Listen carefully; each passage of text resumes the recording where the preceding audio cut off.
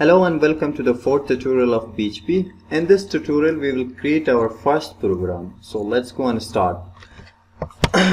Before we start the uh, coding, first of all we need to start our XAMPP or our server in order to execute our PHP codes in browser. So to uh, start the server, just right click here and in here write XAMPP and you can see XAMPP control panel is here also. From here also you can activate it. And uh, from the place where you have installed your uh, XAMPP server from there also you can uh, activate it. So you can see uh, this is the place where I have installed my uh, XAMPP server. You may uh, install it on a dr different drive uh, as you can see I have installed on a C drive so I'll come here in XAMPP folder. And then you can see XAMPP control is here and I will click here.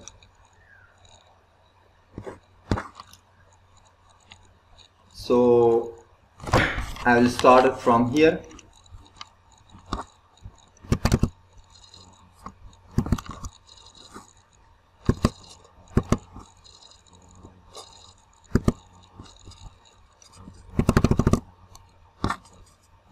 uh, so now it's appear here in my screen.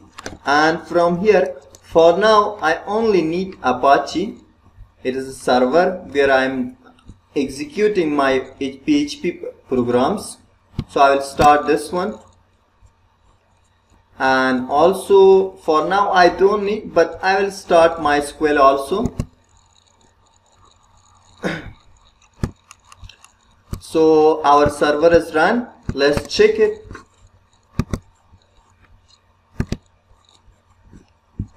open your browser and in here write uh, write local host enter. So as you can see it's it means it is activated or the second method to know it's active or not. Uh, you can see apache and mysql is here in the red color in the green color. It means apache and mysql is started activated or these three services are what these three services are uh, deactivated. They are stopped. So I will go here and create the first program inside the XAMPP folder. And inside the XAMPP folder I will go to the htdocs folder and the previous record we have created a folder by the name of what? By the name of IT Kabul. So I will delete this folder and I will show you again. So I will create a folder. And this folder will be the root folder for us. This is the folder where we will store all of our PHP files HTML file inside this folder to execute it from what? Uh, server so I'll provide a name for this folder. For example Kabul. You can provide your own name Kabul. I provide Kabul. Kabul is easily for me to access. Now I'll enter inside this folder and right click here. Open with code. So I'll right click and open with code because to access this folder inside my code studio so I have created a folder by the name of Kabul and now I want to access it inside my Visual Studio. Uh, you can see this is the folder that I have created. Now I will create the first work program of PHP so just click here new file and provide a name for this file. I will provide the name of index dot php enter.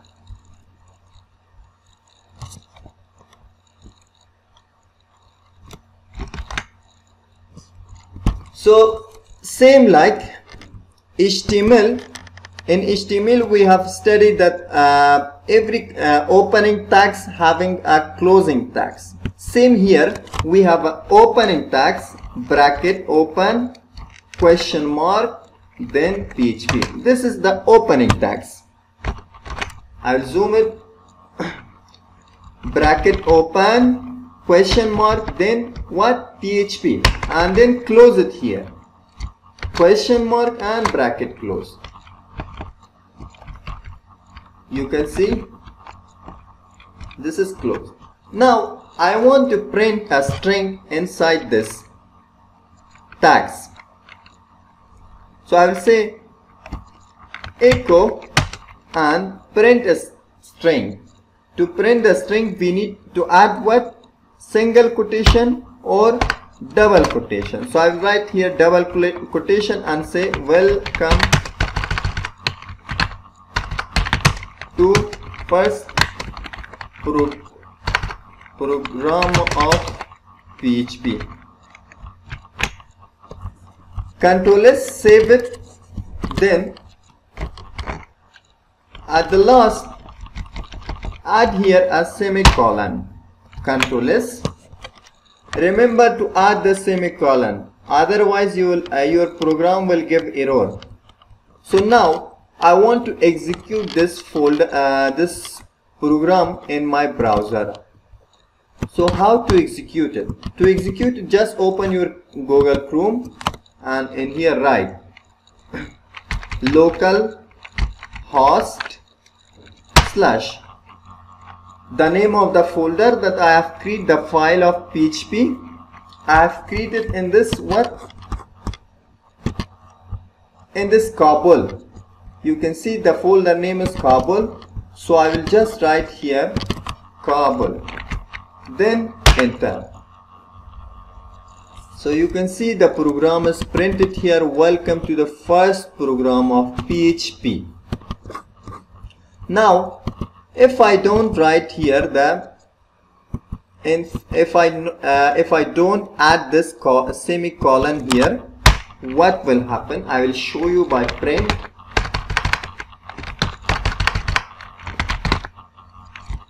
And then single quotation it's okay if you add symbol you can uh, write it down by uh, write it down by single quotation also and by double quotation also. So I will add single quotation.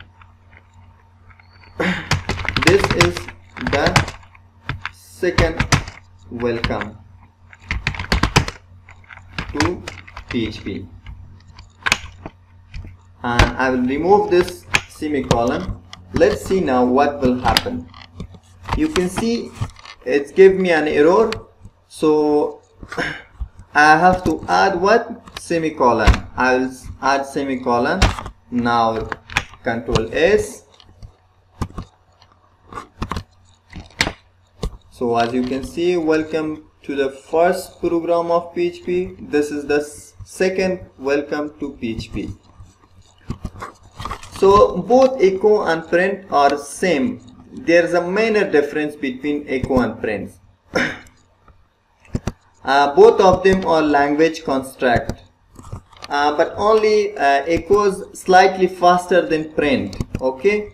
And not that much difference between this. So what we need here if I add another program also here how to access that see I'll write here. Second second dot php I've created another uh, program by the name of second and extension of php enter. And I will write here php then I'll close this tag tag of PHP and I will write my what message? I will say this is sorry echo this is the second welcome. Semicolon control S. Now if I enter here I cannot access that program the second program. So to access this program just here after the name of the folder write the name of your file. So the name of my second file is second. So I will say second dot php so you can see this is the second welcome. The second program is also uh, printed here. So now what we need here I have mentioned you uh, friends that we can add the code of PHP inside HTML code. So let's add it let's add this code. I'll cut this. I will cut this and I will just simply add the abbreviation of HTML I will just press shift and 1 then enter and change the title name here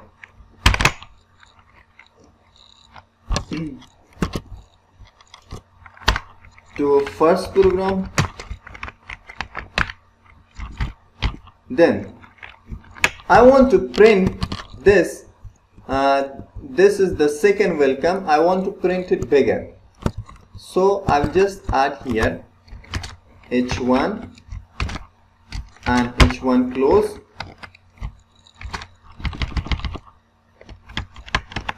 so this is the opening tag of h1 and this is the closing tag of h1. and inside this I will add the code of what? PHP my PHP code.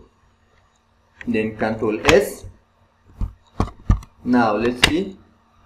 You can see this is uh, printed a little bigger. So now if I uh, right click here and inspect this.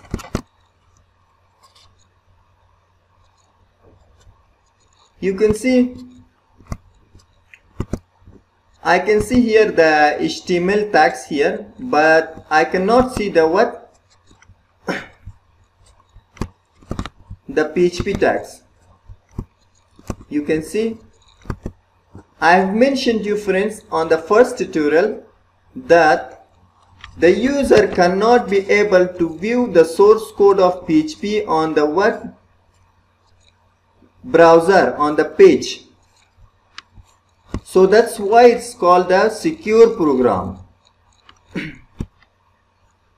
whenever you have uh, whenever a page of uh, PHP is accessed, the code of PHP is transformed to what? Transformed to HTML. See, you can see, you can only view here HTML code. You are not able to see the what PHP code. So I hope you understand these lectures and we will see in the next next lecture thank you so much